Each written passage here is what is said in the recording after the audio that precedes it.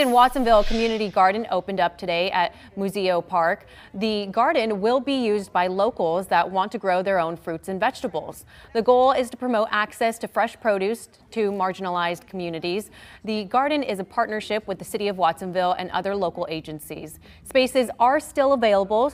You can contact the City of Watsonville for more information on how to get a space.